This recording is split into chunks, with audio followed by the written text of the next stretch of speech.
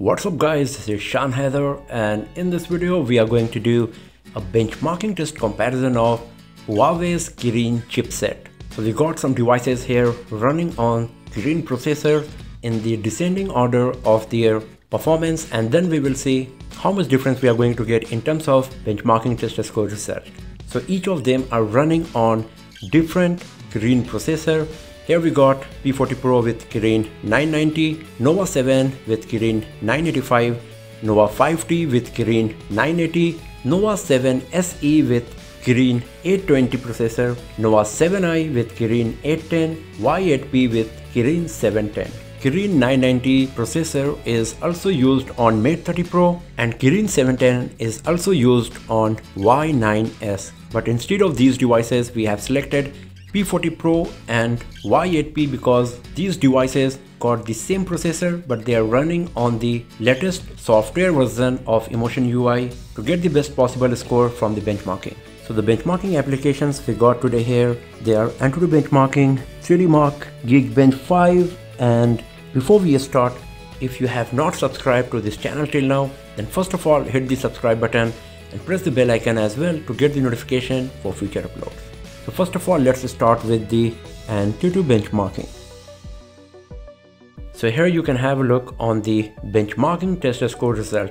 So P40 Pro scored 467,916, Nova 7 scored 416,952, Nova 5T scored 386,718, Nova 7 SE scored 379,641, Nova 7i scored 302,037 and Y8P scored 192,069. So first position, second position, third position, fourth position, fifth position, sixth position exactly in the same sequence and pattern. And you can also have a look on the individual test score result of CPU, GPU, memory and UX. So in CPU, the best performance is coming from Nova 7. After that, it's P40 Pro, then Nova 7 SE, then Nova 5T, then Nova 7i, and then Y8P. In GPU, the sequence is same, first, second, third, fourth, fifth, and sixth. When we talk about the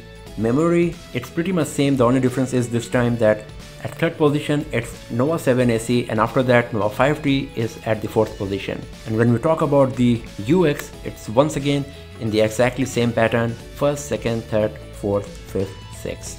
And you can also get the idea that how much difference we are going to get in terms of performance as well considering all of these individual test score result and the overall test score result as well for Antutu benchmarking. So let's go back from here and now let's have a look on the 3D Mark. It's a gaming benchmarking test and basically it's give the idea about the performance of GPU. This test is divided in two parts, Slingshot and Slingshot Extreme. And Slingshot Extreme is divided in OpenGL and Vulkan. So P40 Pro scored 4090 in Slingshot, 5706 in Slingshot Extreme OpenGL, 5481 in Slingshot Extreme Vulkan. Nova 7 scored 6173 in Slingshot, 5244 in OpenGL, 4931 in Vulkan. Nova 5T running on Kirin 980, it scored 4113 in Slingshot, 4611 in OpenGL, 4410 in Vulkan.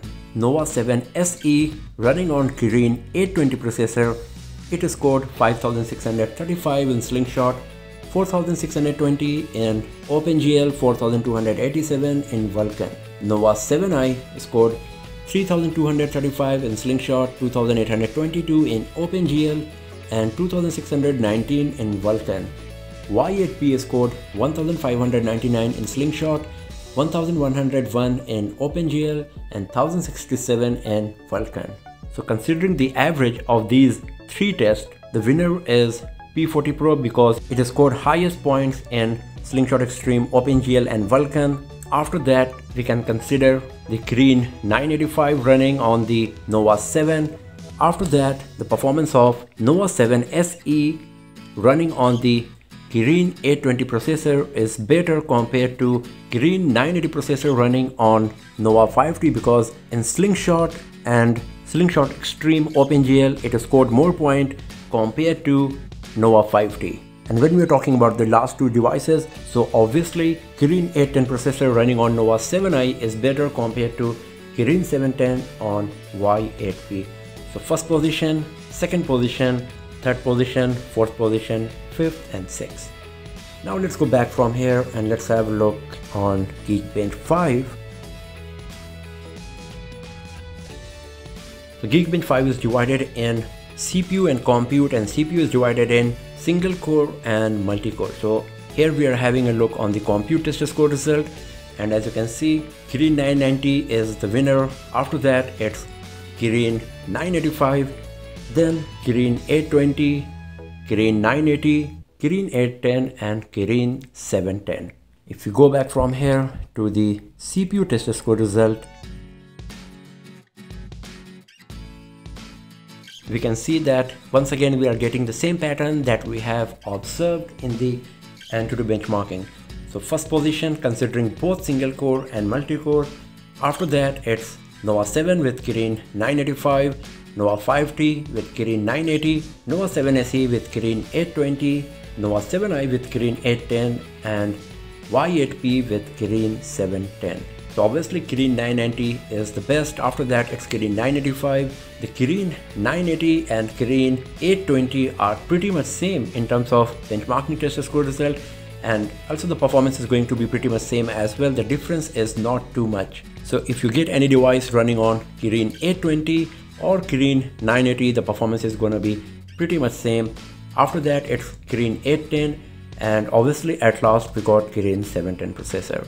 And as I said earlier, Considering all of these benchmarking tester score result, you can also get the idea that how much difference you are going to get in terms of performance and which device you should buy considering the processor for your requirement and needs. So that's all for now friends. If you found this video useful, give it a thumbs up, share it with your friends, subscribe the channel and do not forget to press the bell icon as well to get the notification for future uploads and I'll see you guys next time in an another video. Have a nice day.